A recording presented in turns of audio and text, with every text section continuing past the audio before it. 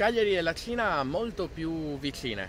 C'è un eh, grosso progetto per far eh, sposare il capoluogo sardo con una città di 16 milioni di abitanti, Xi'an, che si trova appunto nella Cina non tanto lontana ma vicina. Ispina Wang è presidentessa dell'associazione Cina più vicina e cosa sta bollendo in pentola esattamente? Perché questo gemellaggio? Tante cose, guarda, fondamentalmente già in questa semplice dicitura che hai usato tu, la Cina è più vicina, che tra l'altro è il nome della, della mia associazione, racchiude un po' tutto, perché già noi come, come associazione, ma anche insomma, coinvolgendo tanti altri attori, gli imprenditori, il Consorzio Cagliari Centro Storico, la Confesercenti e anche attori istituzionali, abbiamo proprio pensato che ehm, il modo migliore per far avvicinare due culture e anche due economie sia sempre quello di partire dalla cultura, dalla conoscenza reciproca.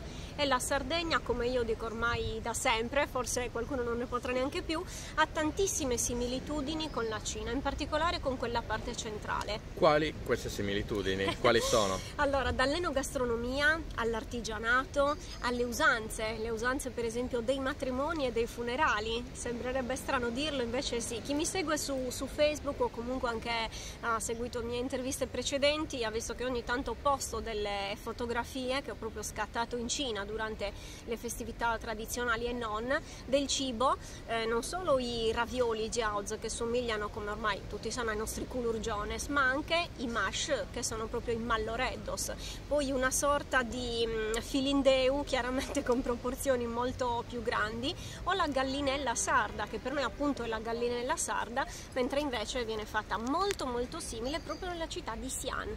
Da un lato c'è l'imprenditoria, la voglia comunque di fare rete con i maggiori attori insomma, che si occupano di queste realtà qui. Dall'altro poi c'è una comunità cinese, quella cagliaritana, 1600-2000 persone appunto, stanno sì. larghi. Sì, sì. Ancora troppo autoisolati? Ma io dico sempre sì che sono un po' troppo discreti a volte, però questo succede perché non c'è una vera e propria terza, ovviamente non parliamo di quarta generazione, stanno cominciando ad esserci, ad essere ben presenti e ben integrati sul territorio le seconde generazioni. Quindi non c'è più quel, quella timidezza, non saper parlare la lingua, anche cioè non sentirsi accettati. Quando si comunica, quando si può eh, comunicare usando la lingua locale che per noi appunto l'italiano forse il sardo, chiaramente cadono anche quelle barriere.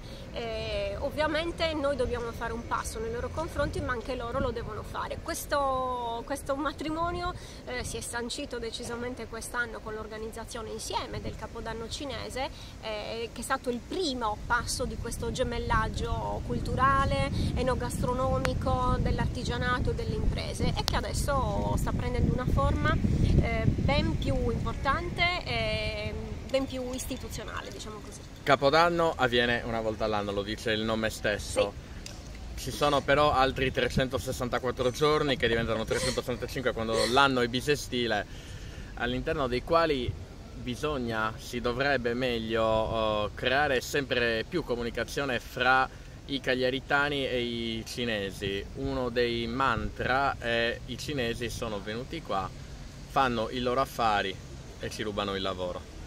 Allora, io direi che, come dire, è esattamente il contrario. Tra l'altro oggi sono contentissima perché cade una festa cinese, proprio il Duan Fuji, quindi facciamo gli auguri a tutti quanti, i cinesi e tutti i sardi italiani che la conoscono e la vogliono festeggiare. Allora, eh, certamente, ripeto, loro hanno il difetto, tra virgolette, di restare un po' in disparte, ma più che altro per una forma di discrezione. Quanto al fatto del rubare il lavoro, ricorderei a tutti che anzi i cinesi che hanno aperto qua dal negozio più più piccolo al ristorante più grande e assumono invece molto personale sia sardo, locale e anche tanti altri stranieri, tante altre etnie, dai kirghisi ai kazaki ai filippini, quindi semmai direi che creano opportunità di lavoro.